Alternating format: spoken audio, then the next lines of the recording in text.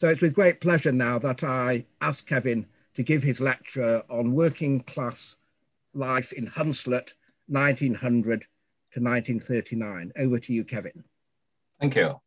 Okay, I think yes. you, you, you, can see my screen share then, Alan. Yeah? Yes, we're all fine to go. Right, okay, right, thank you. Yeah. Right, working class life in Hunslet, 1900 to 1939. Um, it's a pleasure to be lecturing to the Thoresby Society again. For those of you that um, are used to my lunchtime lectures, uh, Thoresby Society lectures are rather different in the sense that this is a work in progress. It's more of a conversational sort of lecture, and I do hope that um, at the end of my talk that we will have some time for uh, question and discussions. Um, Stephen Burt and I have been writing books together for, I'm just going to make a little adjustment here, I think. Yeah, that's better. I'm just, I've just adjusted it so I can only see me and the, um, the slide. Yeah, Stephen and I have been writing books together for since the mid uh, 1980s. Now, you will appreciate that uh, on in the bottom left hand corner, that's me on the left, you know, the good looking one. But uh, I thought I should show Stephen because Stephen has a lot to do with this lecture. Um, for at least 10 years, maybe 20 years, we've decided that we would like to produce a companion volume to our illustrated history of Leeds, which we produced in 1994. Um, more recently, in the last five years, Stephen in particular has got a lot of work done in gathering information for that book, accepting that at the moment the book that will be produced is purely a history of Hunslet. Um, Stephen, in the process of doing that work, has scoured every possible source of pictures of Hunslet. He scanned 200 years of newspapers to gather information. He's investigated every source we can think of, archival source for that information. And the result is that he has produced a 250 page draft of a book on Hunslet. So it'd be a large book equivalent in size to the illustrated history. Um, I've been rather late coming to the party because I've been preoccupied with certain things and um, Stephen retired four years earlier than I did. Um, so my role in the book on Hunslet is that of, in effect, an editor in chief, a, cri- a critic, a suggester of ideas, and also I've uh, done little bits of research and will be providing some short sections that will go in the book. But Stephen is very much the main man on this. Um, I'm currently working on the 20th century chapters, looking at them, and because of this sort of rather short notice for this lecture, I thought, what could I talk about? And I thought it should fit in with the work that I'm currently doing and have been doing in the last couple of months on Hunslet in the 20th century. So when the Thoresby Society asked me what I might lecture about, I thought, well, okay, let's do working class life in Hunslet in the 40 years before the Second World War. So the lecture is a work in progress. It's not a polished lecture in any sense. Um, it will tell you some of the things I know about Hunslet in this per period, but at the same time, it will also expose things that I don't know and things that I would like to know about. Um, ideally, I'd like to sort of road test this talk on the people of Hunslet, people in the, the Hunslet community today, just to see what they think so that they can make comments, uh, correct things that I've got wrong, and generally uh, help inform us about what is a period which is in part of it at least within the memories of people living today or their parents. Well, I don't have a great deal of time. The lecture will only focus on certain aspects of working class life. Um, it won't deal with domestic life in particular. It won't deal with shops or shopping. It won't really deal with religion. But in particular, it'll focus on working class life and poverty. That's working life and poverty and education. And as I say, I hope there'll be time for questions at the end. Fortunately, I think Stephen is listening to the lecture. And when we come to question time, no doubt he will be answer, able to answer for us, maybe some of the tricky questions. Well, as far as Hunslet is concerned, one of the issues is uh, a lot of people aren't really very familiar with Hunslet. So we have to have some orientation here. Now, here is uh, an aerial view of Hunslet as it is today on Google Maps. And key features you need to note are that here we have Hunslet Road running across, diagonally across the image. Coming off Hunslet Road, we have Church Street, which runs down to Penny Hill, where the present day shopping centre. But Church Street is the core of the what was the medieval village and later the centre of the township of Hunslet. Um, here we see the M1 motorway running through, but going across the moor are the remnant of, across the remnants of Hunslet Moor, parts of which still exist today. But on the western boundary of Hunslet, more or less coming down from the city centre, we have Hunslet Road, which is, you know, the later addition to, sorry, we have Dewsbury Road, which is a later addition to Hunslet. So we have the historic core here. We have uh, the moor, Hunslet Carr down here where the Middleton Railway is, Woodhouse Hill there. And finally going across to the other side of Dewsbury Road, we have Hunslet Hall Road and the site of the former uh, Hunslet Manor House a reasonably present day view looking up from the south through Hunslet. This is Church Street running up with the parish church. Well, there's just the tower there now, but running up the hill on the left, we have the Penny Hill Centre. And here is the Penny Hill Centre. Some of you will have been, been there. It's a shopping centre. This is where the core of Hunslet Village was. And if we went through there, you get to the the Morrison's big car park and supermarket. But coming further up at Penny Hill or Church Street, we get through to the entrance into what was once Waterloo Road. And you can just see uh, Library is there. And just beyond there, the Garden Gate pub. So part of this lecture concentrates on the Hunslet economy. Now, what were the major industries in Hunslet in 1900 at the start of our period? Well, here we have here we have uh, the railway industry, the manufacture of locomotives and engineering was hugely important as the cornerstone of Hunslet industry. Um, in the period from 19, uh, 1900 to 1918, Hunslet industry effectively boomed, although the boom during the war uh, concealed a long time term decline in the industry. Um, here we see uh, the Hunslet Engine Company, one of the most famous manufacturers of steam engines, and the important thing to note is that between 1900 and 1918, 80% of its output was exported to the world and to the empire. Another of the great firms of Hunslet in this period, which was John Fowler's Steam Plough Works, and on the current day Costco site. But again, this industry was heavily export orientated. Hunslet was famous in this period also for the manufacture of traction engines. Here we see McLaren's um, traction engine advert. Um, these were powerful, wonderful vehicles. And a bit further down the road towards uh, Pepper Road, you had Manns Engineering, who made steam powered road vehicles, that is, uh, wagons, in effect, the lorries of the day. Hunslet was also noted for the manufacture of steel.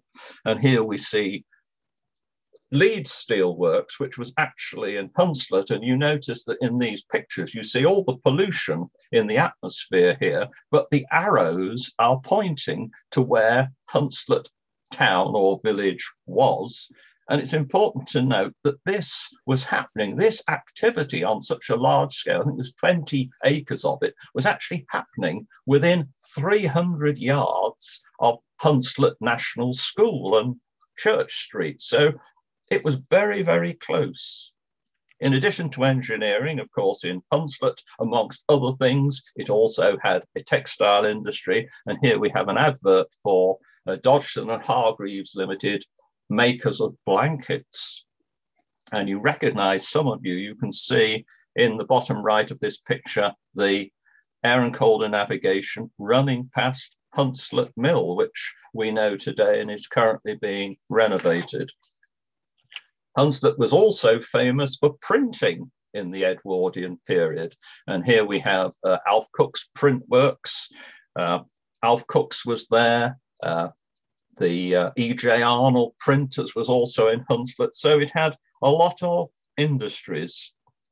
But the thing to remember is that the period immediately before the First World War there were all, all already problems, although perhaps hidden, um, in Hunslet in this period. And this was due to what was happening in the world economy. Now, here you've got a rather complicated uh, chart. It's economic historians at work, which I am in essence, just showing what was happening in the period up to 1913.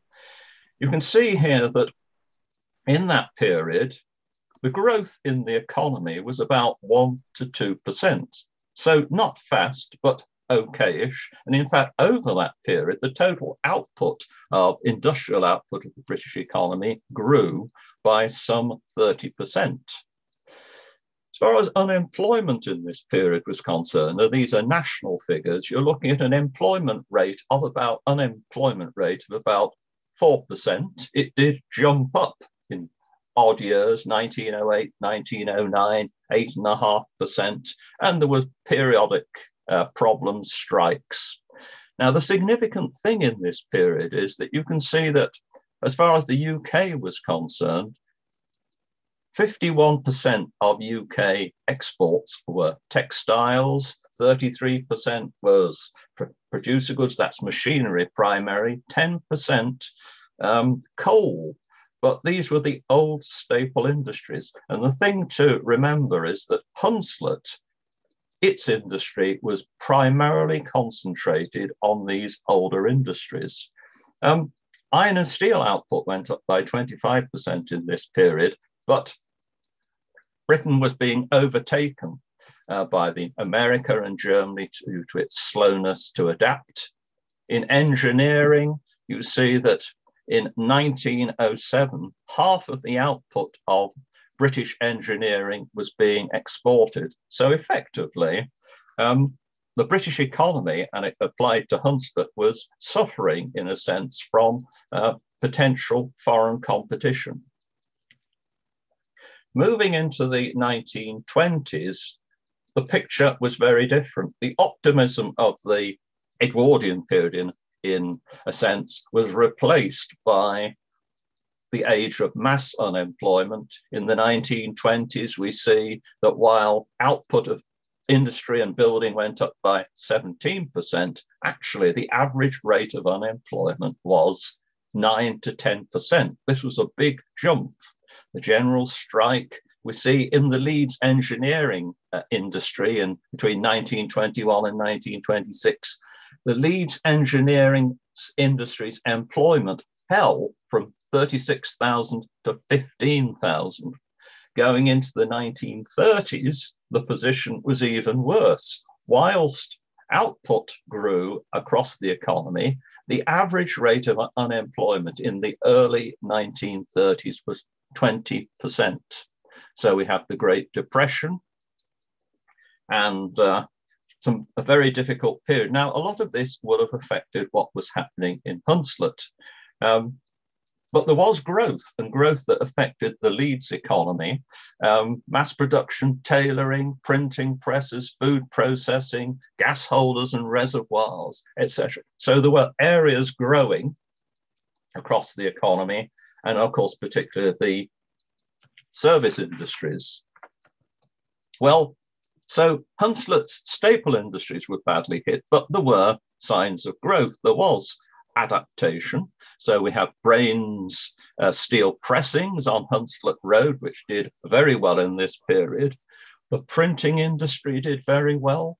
And then Hunslet was a specialist in producing large storage containers, whether they were gasometers or oil tanks. Hunslet also had a famous sardine canning factory. And of course, it had chemicals in which there was some expansion.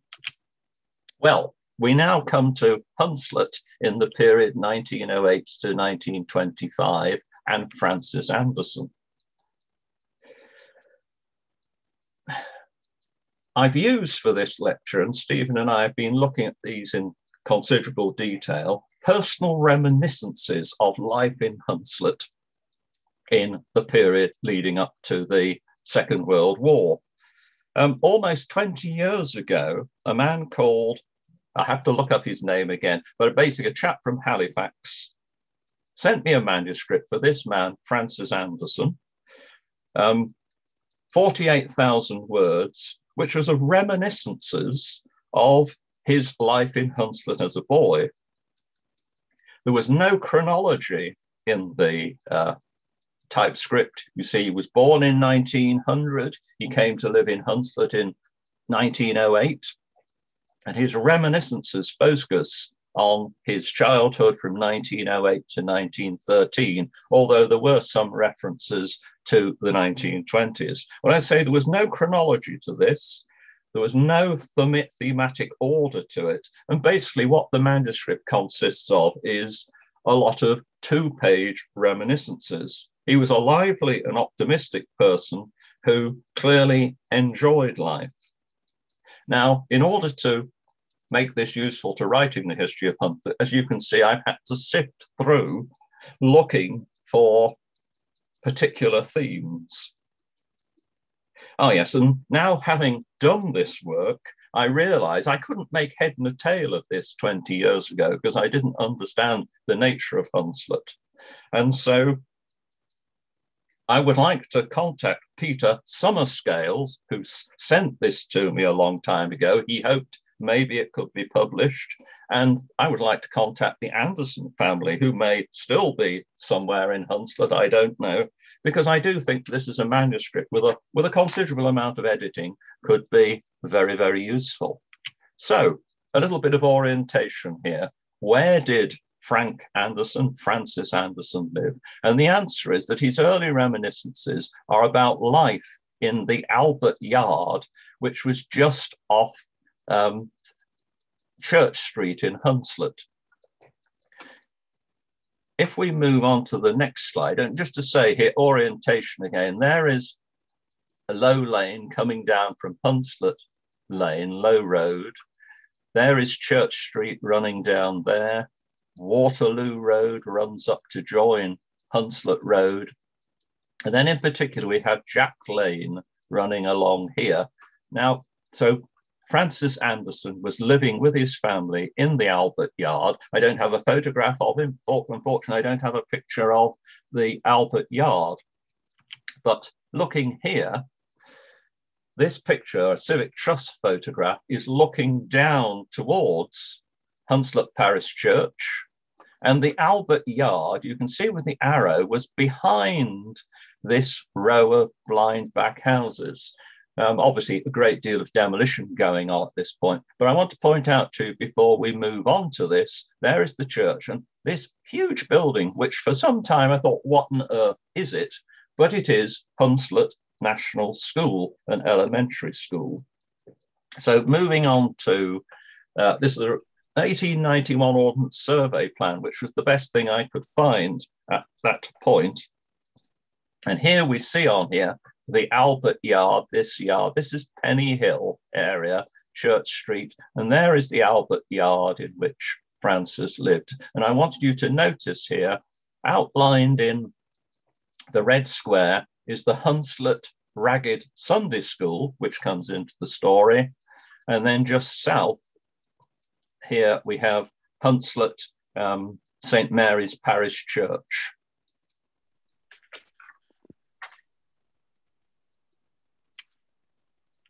So what was Hunslet like at this point? Well, this 1929 view gives us a very good impression, much as Francis Anderson would have found it in uh, 1908 when he came to Hunslet. We're at the top of Church Street here as it merges with the junction with uh, Low Road. We see the Wellington Hotel at the top. But the point about this picture, which I think is very intriguing, is that really, when you look at this scene, this almost looks like a semi-rural setting or the character, the buildings have the character of really a rural market town rather than the heart of a great industrial center. We have to remember, of course, that Church Street was the medieval street or the, the main street of the medieval uh, village of Hunslet. And therefore, it, even in this period, contained buildings and houses and cottages that dated back to the 17th century, even the 16th century, which partly accounts for its character. Well, life at Hunslet National School, we see the parish church there, but in this view, we see this three-story enormous school, an elementary school that was built next to the parish church. It was opened in 1895. Remarkably, this housed 1,000 pupils and took them from the age from 5 to 13, which was then in Francis's time was the school leaving age. Now, in his reminiscences, he clearly enjoyed his time there. He used to go from there up to uh, Hunslet Moor School to do woodwork. He recalled a host of things, football matches on Hunslet Moor with other elementary schools, Hunslet Carr School, Jack Lane School, St. Jo- uh, Joseph's Roman Catholic School. And he talks about, he's very fond in his reminiscences of relating songs of the time and the things people chanted. And he talks about the sort of songs that Victoria School football teams chanted or shouted as they, or sang as they came back across the moor to their schools. One of the things that Francis did when he was at the National School was to go up uh, Gordon Road from the school on Monday mornings to go swimming at Hunslet swimming baths where he had lessons. And on the way back, he would nip in through the window of his blind back house as they passed it, get a bread cake, and then continue back to school. He wonderfully evokes how kids entertained themselves in the yards and streets of Hunslet before the First World War. The songs they sang, the games they played, he describes about 20 of them. He describes concerts that he went to at the Ragged Sunday School. He recalls the errands that he ran from the Albert Yard. Was a coal dealer, so he used to take coal around in a handcart as a delivery for the uh, for Mrs. Todd, who lived in the yard. He would take Mr. Todd's supper down to the Crown Bottle Works, just on Jack Lane, where three of his uncles worked. Uh, he uh, enjoyed Friday nights in the Stillhouse Market or Stillus Market, which was on Woodhouse Street. He enjoyed going to the cinema uh, at the Pictodrome, Pictodrome, which was Hunslet's first cinema in 1911. But of course, a big issue was poverty. Francis's family was really quite poor. His father and his three brothers living in uh, the yard were coal miners. Uh, it was a tough industrial environment to work in, cramped, dangerous conditions, physically exhausting. There was no guarantee of work every day. And indeed, there was quite a lot of strife in the industry with strikes in 1912 and 1921. He noted that there was plenty of slack time in the pits for his father and brothers. And in 1912, perhaps I think when the strike was on, he and other poor kids had free meals provided for them. Uh, they took breakfast at Hunslet National School, where they had jam on brown bread and cocoa. And then they went up for hot dinners at the Ragged School on uh, Gordon Road, where they got shepherd's pie and rice pudding and things like that. So, rather reminiscent of the current situation today with the issue over school dinners for poor and destitute children. The 1921 miners' strike highlights the financial position of a lot of workers in Hunslet in the Edwardian period. Namely, um, we see that coal miners and skilled workers, especially in engineering, could put money aside for a rainy day. However, if you were a labourer without security of work, poverty and destitution was a constant threat. The coal strike, of which I want to give a brief account, provides a good insight into the effects of industrial strife in Hunslet in the 1920s. This is in 1921. The government had taken control of the mines during the First World War, and miners wanted the coal industry nationalised after the war. Immediately after the First World War, there was a great coal shortage in Europe. And in 1920, the industry was still riding a high wave of prosperity and selling exports at unprecedented prices. But in 1921, there was a sharp slump in coal prices, particularly for export. And at that point, the government decided to give the mines back to the owners. The owners were then faced with large losses at the existing level of wages and at coal prices, and therefore they demanded drastic wage cuts, which they knew the miners wouldn't accept, and therefore they locked them out. On the 31st of March, they were locked out. The end result of all this was the miners suffered a crushing defeat and returned to work on the owners' terms in June 1921 when their funds were exhausted. So how this played out is in Hunslet is described in an article in the Leeds Mercury, which was written during the strike. The Yorkshire Post published a highly revealing interview with the Reverend Gallagher, the vicar of Hunslet, which was headlined The Problem of Subsistence How Miners and Others Carry On. Readers were informed that Hunslet had been very badly hit by the coal strike and that the great industrial district had never experienced such a difficult time. Thousands of miners, it said, live in Hunslet. The reporter noted that they had been idle for seven weeks. Worse still, the coal stoppage had thrown many thousands of other workers out of work, including men employed at the steelworks and at the other great engineering establishments. Hunslet, the great workshop of the world, is well nigh idle, said the reporter. The vicar who he interviewed said he was amazed how the working classes of Hunslet were coping. As far as he could see, there was no general acute distress, though there were many individual cases of hardship which were being relieved. The reporter asked, Well, how do you account for this?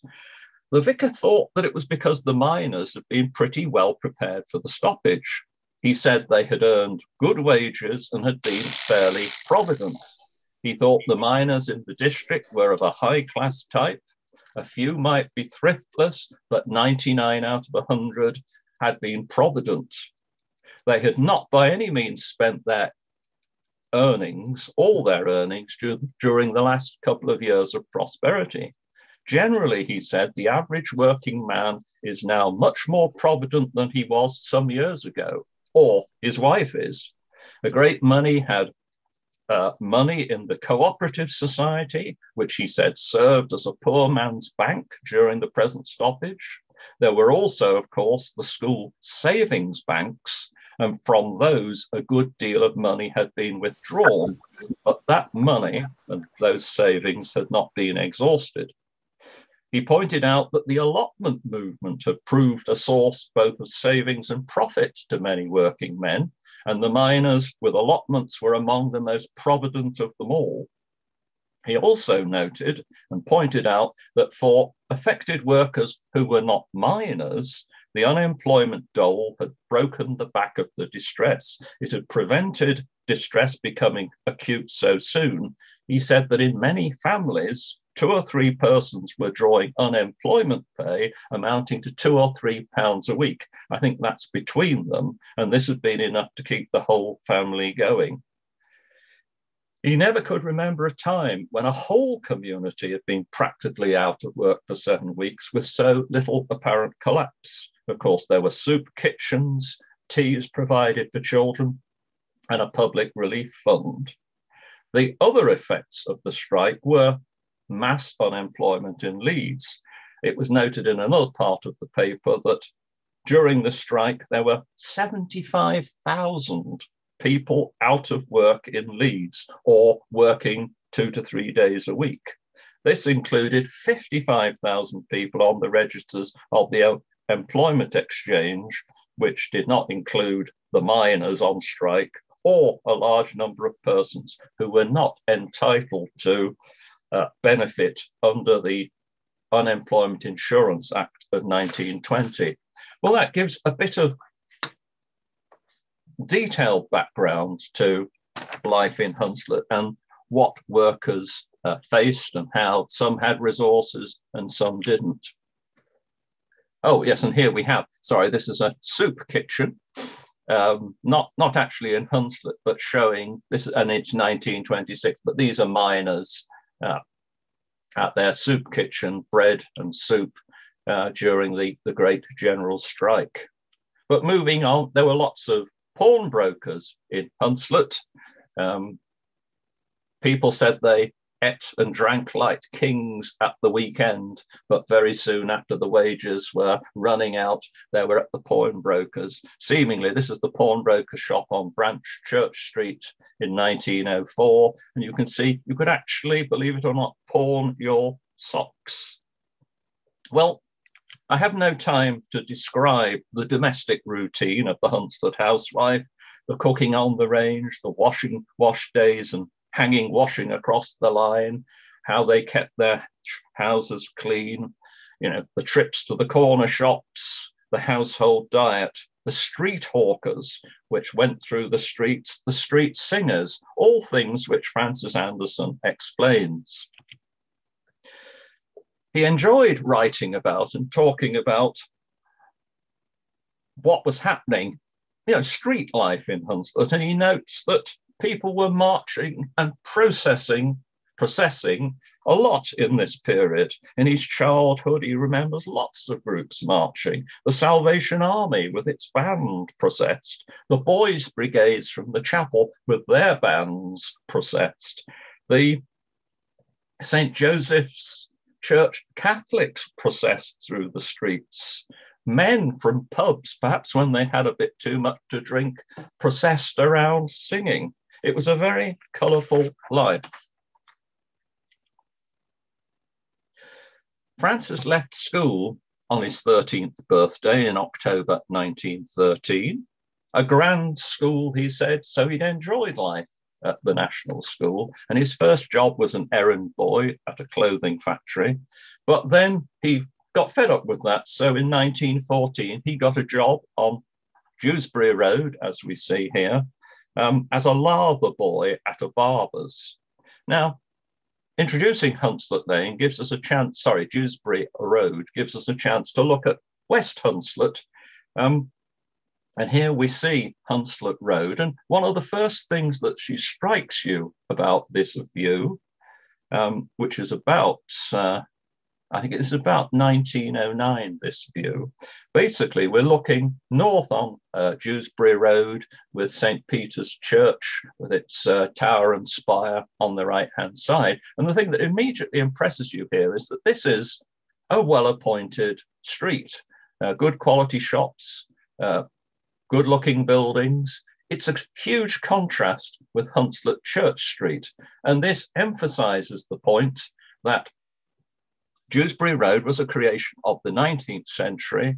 A lot of its buildings were built from the 1850s onwards. So you've got the contrast between the very shabby looking uh, Church Street in Hunslet with this quite impressive street for the time. Um, some of the buildings there we see um, the Hunslet Library and Police Station, which had been opened in 1903, Scrutons, fruiterers and dealers in sweets, you think looking maybe for a perhaps a higher quality of clientele, and then the Methodist New Connexion Chapel. Close by on Meadow Road, literally within the medieval Hunslet township boundary was the Queen's Theatre. Francis went there from time to time, particularly when he was more grown up.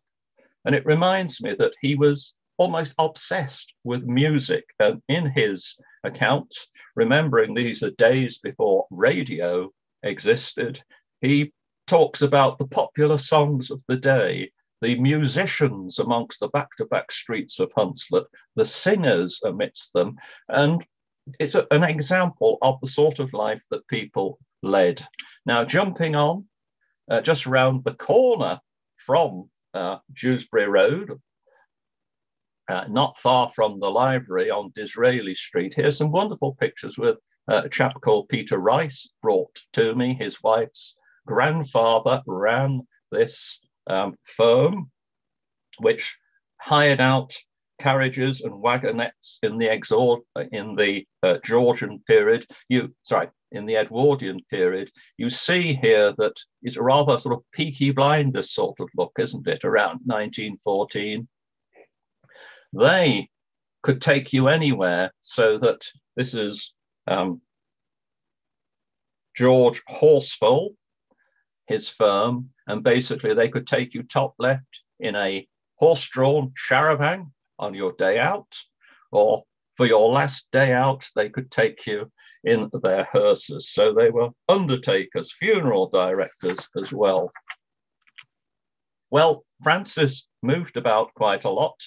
And here we see an aerial view. One of the things to say about Hunslet when you look at the plans is that Hunslet was full. It was absolutely packed with streets of houses and factories. And here we see some of them here. There we have Mrs. Hunslet Road running down the bottom. Then we go up Goodman Street, uh, South Accommodation Road to the river, Hunslet Mill at the top right there.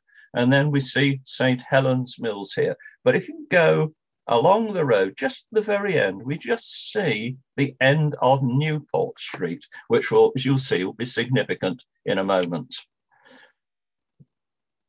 Francis and his family moved, they moved five times in 10 years, but they eventually moved to Yard. There's St. Helens Mill. So we're just at the southern edge of that photograph that you've just seen. And they lived in Buxton's Yard.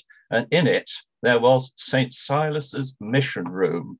Well, Francis talks in detail about life in this yard, the kids, the characters, and also, I mean, Hunslet possessed lots of these mission halls, bringing religion and rec recreation to people in darkest Hunslet. And he, he remembers in particular the operettas that were put on for local entertainment at St. Silas's mission. I don't have time to tell you about the disappearing Vicar of Hunslet. Francis mentions him briefly, but essentially he disappeared in 1913. It was rumored that he jumped off or fallen off the cliff at Flamborough Head, but effectively he'd got involved in a scandal involving ladies. And this report, believe it or not, which I found in an Australian newspaper that uh, published in Melbourne, and they talk about the disappearing vicar of Hunslet, and they say that the vicar has been found because from a ship which was on the way to South Africa, he cabled the bishop in Yorkshire, the Bishop of Ripon, to say he wasn't coming back, he was emigrating to Australia, and the stories about him and his female companion were untrue, and that uh, his wife was not to blame, etc., etc. It's, it's, a ripping yarn, and uh, pity we don't have more time for it. Well, yes, if there was no radio to 1924, what did men do in Hunslet? Well, basically, uh, they could join one of the brotherhoods. Here's an incredible photograph of the brotherhood, which provided for recreation and spiritual improvement at uh, Salem Chapel in Hunslet, well, just about in Hunslet, under the ministry of uh, Smith and Wrigley. I mean, incredibly, this had 2,000 members at its peak in 1925. Uh, there was a brotherhood at St. Mary's Parish Church in Hunslet that also had a membership of over a thousand. So these sort of organizations were important for social purposes, recreational purposes as well. And of course, there were the public houses. And here we see work workers, skilled workers, I think, from perhaps from Alf Cooke's print works or John Fowler's, which was just on the opposite side of the road in 1905. Where are they going, we wonder? What is the special occasion? Are they about to go on a trip? Rugby was also hugely important in Hunslet. Hunslet's rugby league team were, you know, the stars of the uh, period, really. And here we see Albert Goldthorpe, a local hero who led the team to win all four rugby league trophies in 1908. And of course, our Albert was the hero of the hour. And when they got back from winning their final trophy, 20,000 people met them at, in Hunslet for the parade. Um, Anderson talks about um, all sorts of things he mentions, as we see here, Hunslet Feast on the Moor, a great occasion in the summer. Uh, lovely picture of this. Um, it was enjoyed by old and young. Well, what I haven't had time to say is that Francis, when he was 15, decided to go down the mines and basically he led pit ponies. He worked at Robin Hood Colliery, about uh, a mile or so that's two miles from Hunslet. Um, he subsequently uh, came out of the mines, I think, in about 1923 and worked at Hunslet Mill, uh, where he helped make blankets. Thereafter, he left uh, the mill in 1945, and thereafter we lose sight of him. The point about this is that Francis Anderson was clearly, from his writings, an intelligent chap uh, bright, likable, but like so many working class boys in Hunslet, he left uh, elementary school age 13 and followed the typical route in life for an average Hunslet boy. The great contrast is with Richard Hoggart. Richard Hoggart, uh, born in Chapel, uh, sorry, Potter Newton in 1918, um, two year, two decades old, uh, younger than uh, Richard, uh, than Francis Anderson. Basically, he followed a different path. He became a very distinguished academic. Uh, for a period, he was an assistant director of uh, general of UNESCO. And fortunately for us, he wrote two books which tell us about his life in Hunslet the uses of literacy in 1957, which was a hugely seminal and important work about working class culture, in which there are reminiscences which he drew on from his life as a working class lad in uh, Hunslet. And then in 1988, he produced a local habitation written about his uh, life in Hunslet between 1918 and 1940, the second one in particular is an absolutely fantastic read. And if you can get a copy, you really uh, should read it. It's both entertaining, uh, affecting, and uh, full of interest. Well, so he was born in Potter Newton in 1918. He was orphaned and came to live with his grandmother at 33 Newport Street in 1925, age seven. Essentially, he was a boy brought up in poverty. From a locational point of view, we see Frank had been living down uh, off Church Street in yard, in contrast, but still very close in. You see all these packed houses, street after street of back to back. Uh, Richard Hoggart uh, came to Newport Street, which ran off Hunslet Road down to Jack Lane. We'll get a close up here. Oh, oh yes, here, here's this view just to emphasize that, which we've just seen, which is Hunslet Road running along there. And in these terraces of working class houses, there was Newport Street. In close up here, we see the environment in which Hoggart was brought up at 33 Newport Street. And we see he was just um, Newport Street was almost parallel to Joseph Street. There we see Newport Street in the centre there, but seeing that on Joseph Street, there was first of all the Roman Catholic chapel. There was also the public baths. There were two, a clothing factory, a printing works, the Primitive Methodist Chapel, the Crown Bottle Works, and then just on the edge, his school. So it was a hive of activity, and he was surrounded by industry. Here is a view of Newport Street. He lived, this is the Hunslet Road end. He lived further down, I think, on the right hand side. But you see the typical sort of small cottage in which he lived.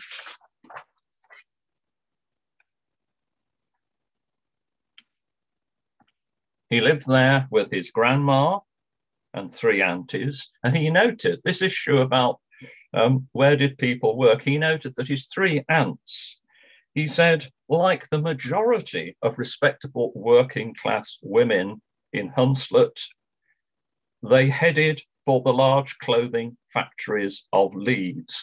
Burton's, perhaps Sumrie's, Weaver to Wearer. But it is important to realise that, of course, although you lived in Hunslet, because of the tram, you no longer needed to live close to where you worked, and you could take the tram to Burton's in uh, north of the city centre or other places. So people who lived in Hunslet, even if uh, the industries of Hunslet were struggling, they had the opportunity to go and work elsewhere in the city where things were going better. Richard attended Joseph Street Primitive Methodist Church, and he says in his book that basically this provided a lot of his social life and recreational activity. He went there, worshipped there, attended there well into his teenage years. He went to Roundhay Park for trips. He went to Temple Newsam, those sort of short distance places, but very attractive that you could get there on the trams. Um, he joined the cycling club of Salem Chapel when he was 16, and that allowed him to go around Yorkshire. It was a huge liberation. Hoggart says it was like being given a sports car to be giving a brand new bike, which his auntie gave to him because he passed his um, school certificate examinations. Now, in a local habitation, he describes in detail the habits, the activities, and the attitudes of the working classes in Hunslet. Um, as I say, it's a wonderful read.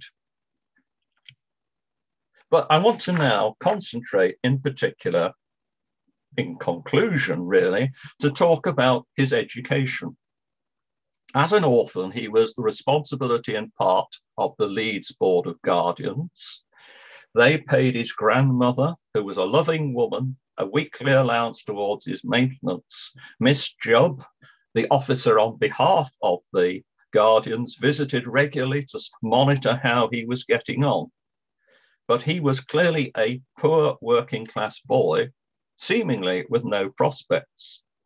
At the age of seven, when he moved to Hunslet, he went to uh, Jack Lane Elementary School, which we see here, where he might well have stayed until he was age 14. The school leaving age had gone up, and he would then probably have just gone into a Hunslet factory. He notes that, in a sense, that the principal role of elementary schools in this period was to provide a basic education in anticipation that pupils would leave at 14 to go and work in the factories or in the coal mines of South Leeds. He notes that the obstacles to the educational progression of working class children in Hunslet before the Second World War was enormous, particularly for poor working class children. Working class families need the income of a child at 14. It was important to supplement the income of the family. He also noticed that meanwhile, there was a lack of aspiration amongst the teachers in the elementary schools because of their assumption that Hunslet children would go into jobs for which a higher level of education was unnecessary. Indeed, the teachers knew that the parents of working class children, especially the poor ones, would be unable or unwilling to afford the fees charged by the council secondary schools. In if a headmaster or headmistress thought a pupil had the ability to go on to secondary education and beyond, the only route was the only route was by entering or the school entering the pupil for the 11 plus examination, which, if they passed, would provide them with a scholarship, that is, a free place to attend Cockburn High School. The headmaster at Jack Lane Elementary School knew enough of the circumstances and attitudes of Hunslet families not to put more than two or three of his boys into the exam every year but he recognized in Richard Hoggart a bright boy. Hoggart noted that to sit for the 11 plus, you had to walk out of Hunslet over the moor to the edge of Dewsbury Road to Cockburn High School. This is the one which, without question, you would be assigned to if you passed the 11 plus. Indeed, Cockburn served the whole, it was the secondary school for the whole of South Leeds.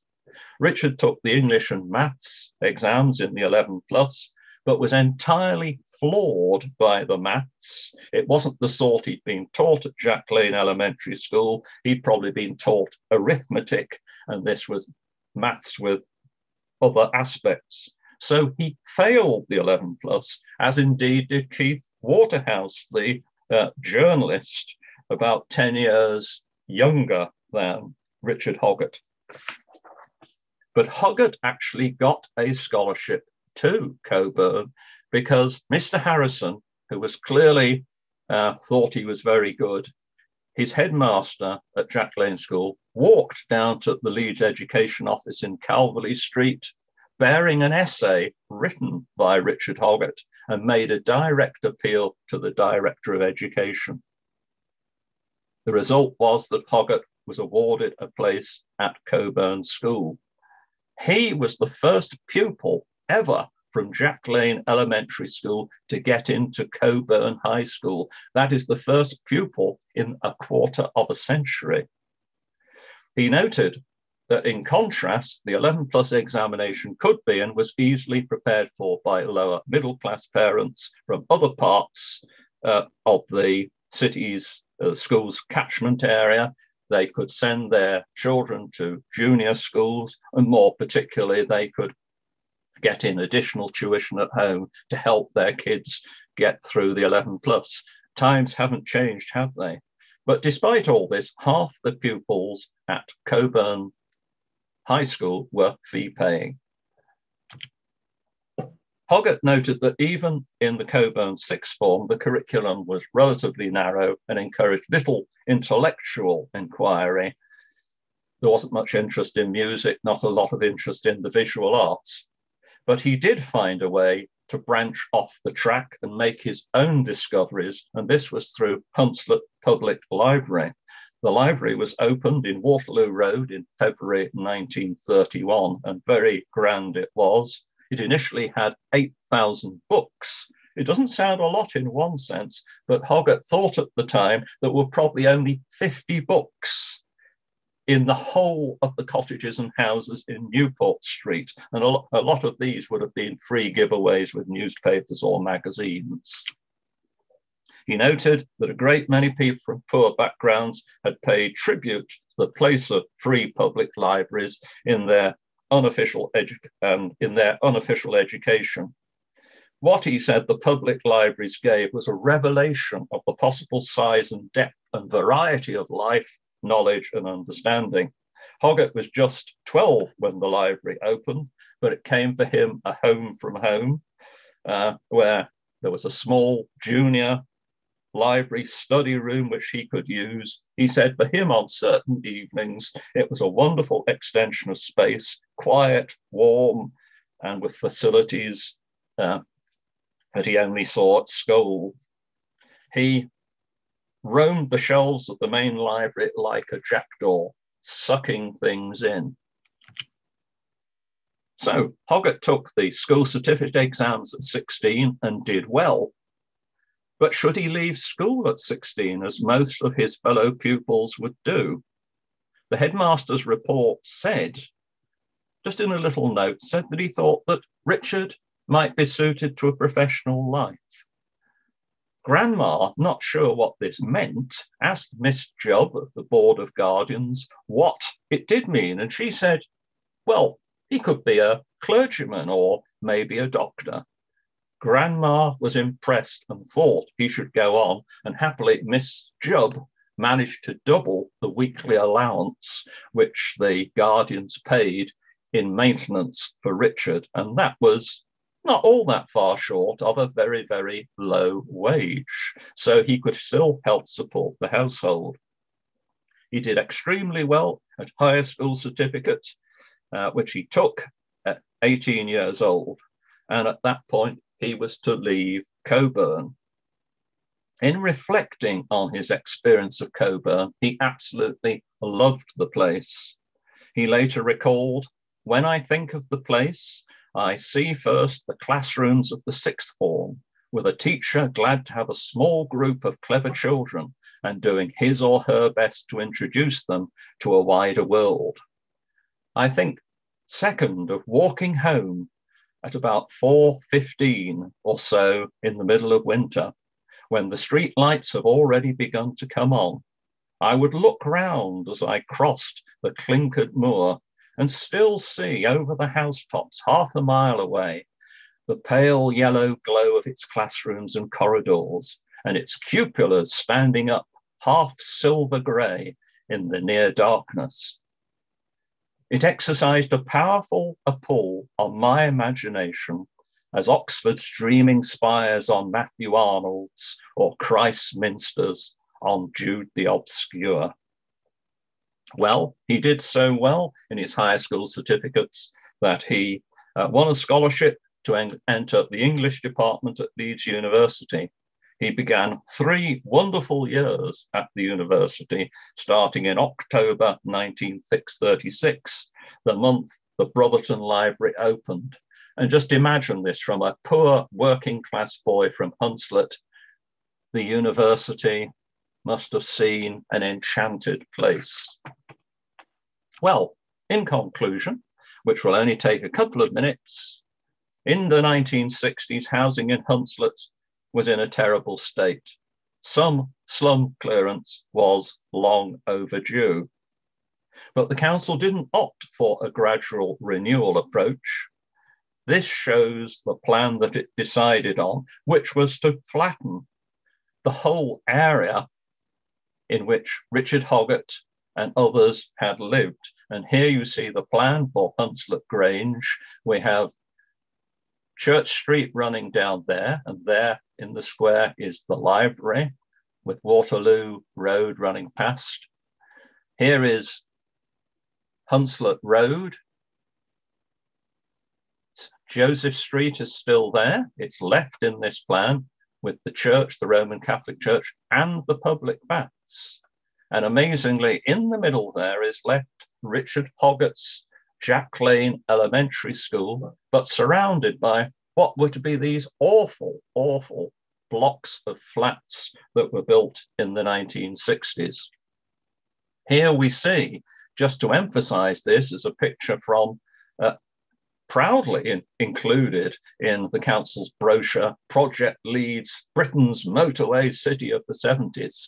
And just to sort of, it's, it's not a good picture. Stephen and I would very much like to find a good high resolution copy of this. There is Hunslet Parish Church, the bottom right hand corner, Church Street. Up here we have in the yellow triangle, here we have Jack Lane running along there.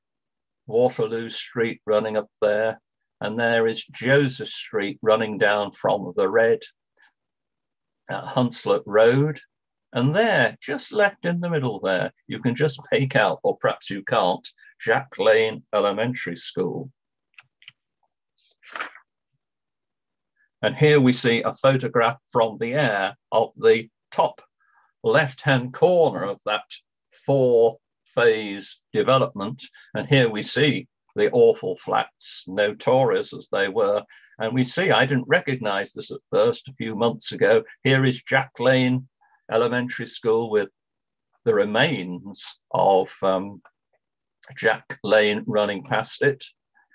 And yes, the baths are still there. We might just about make up for the top right, the uh, Joseph Street Roman Catholic Church.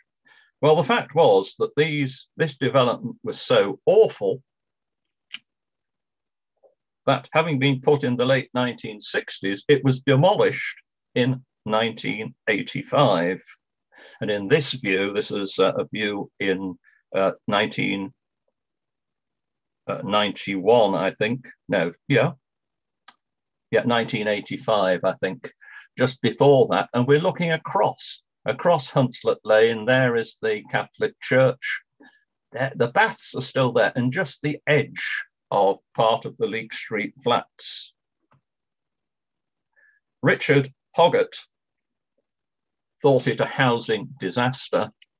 And when he returned to Joseph Street in 1991, and we see looking down the street, there is the Roman Catholic Church, Joseph Street, and there is Richard Hoggart looking across the rubble towards Newport Street where he had lived.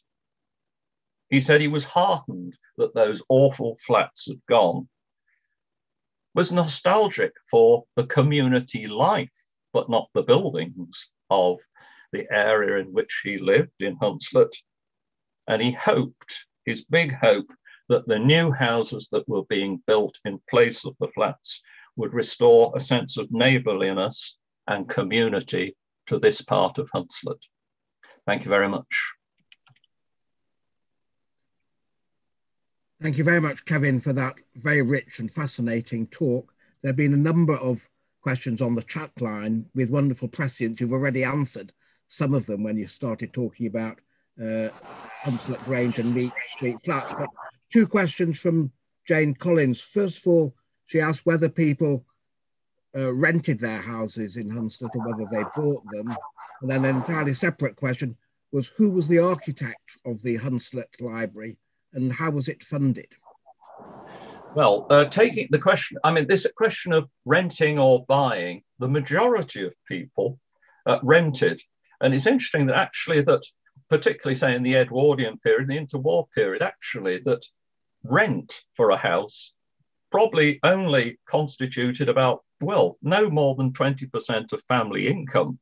You know, the proportion spent on food was more like 45 to 50%, so that renting was cheap. The quality of the accommodation wasn't very good, but few people, except for, we say, the artisan class, the very skilled workers, actually bought their own houses. And of course, um, in the uh, what I suppose the 20s, particularly the 30s, uh, some Hunslet residents moved out to the new council estates where they rented Belle Isle, uh, Middleton, other parts of the city. But in fact, rent, in one sense, was a relatively small part compared to today of actually family income.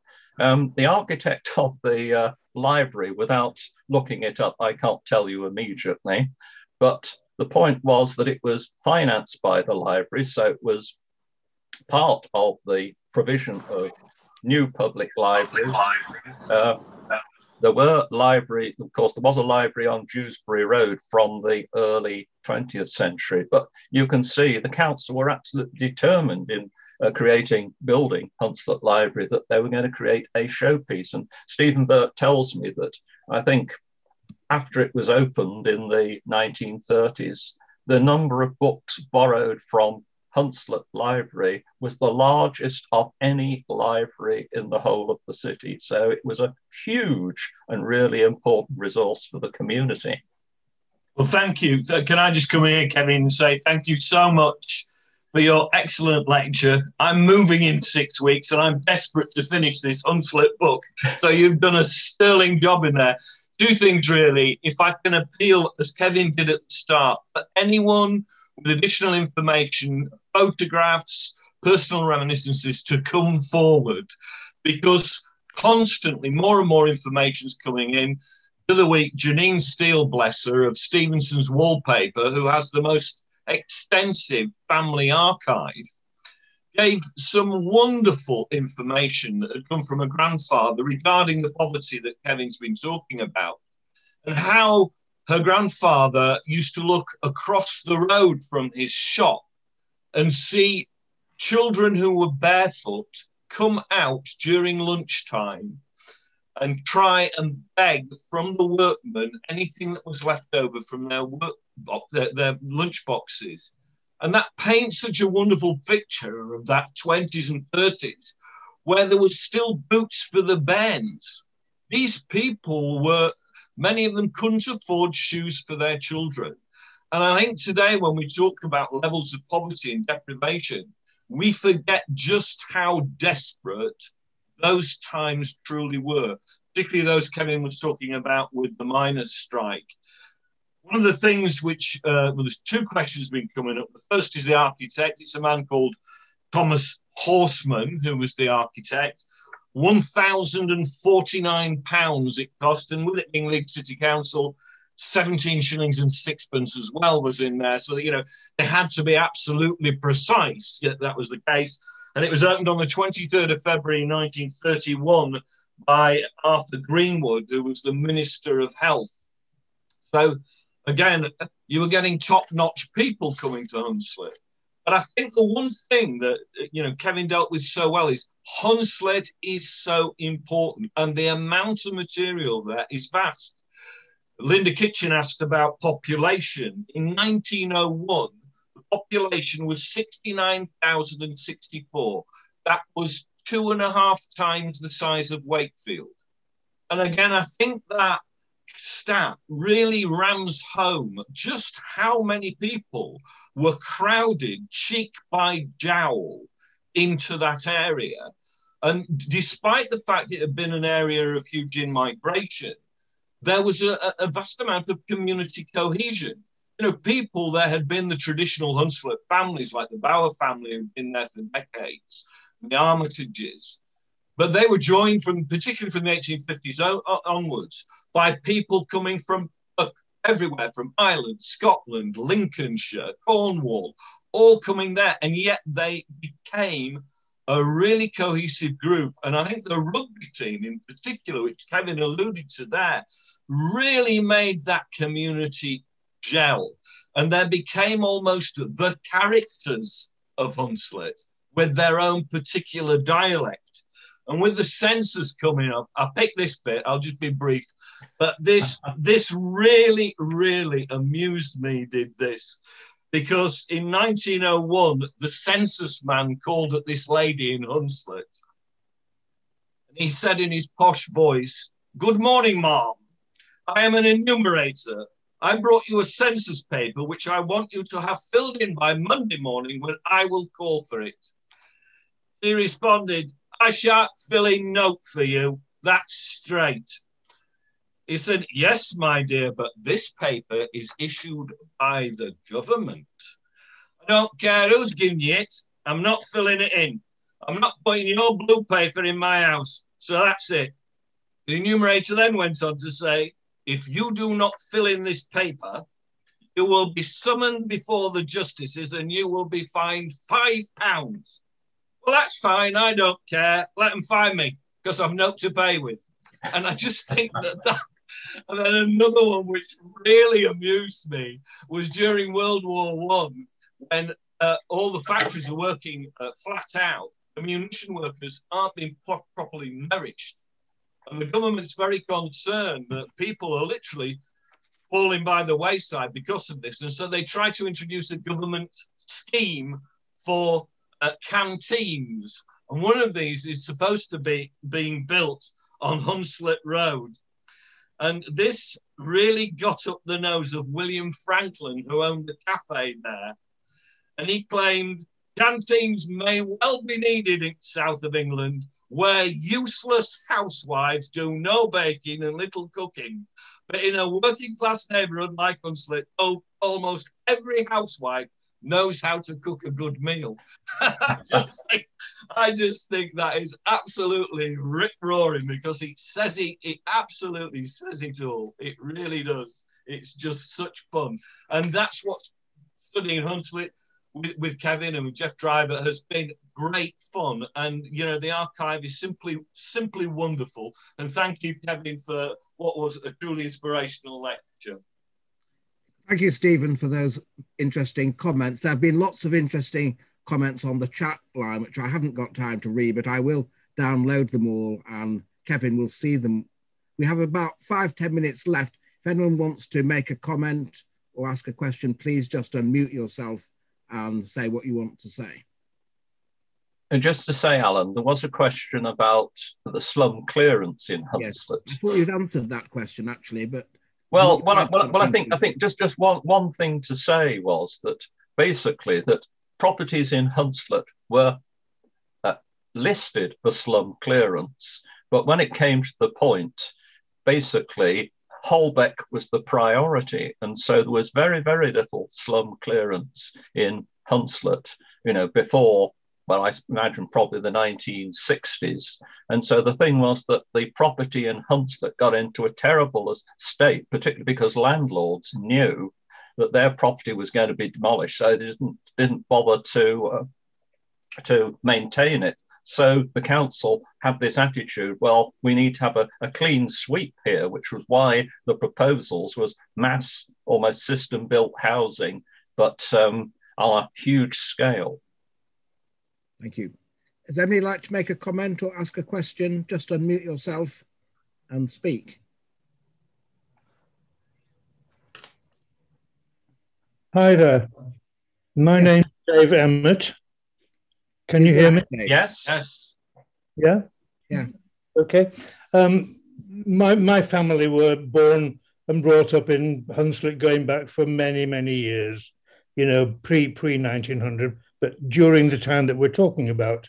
M- my dad was the uh, um, butcher, the co-op butcher on uh, in, in Hunslet for for all those years, um, and I have many memories of him going down to the shop. I am now, oh, what am I now? Seventy nine. Uh, oh. Uh, and uh, you know, it, it, it, it, means a lot to me to be able to have these these memories of him.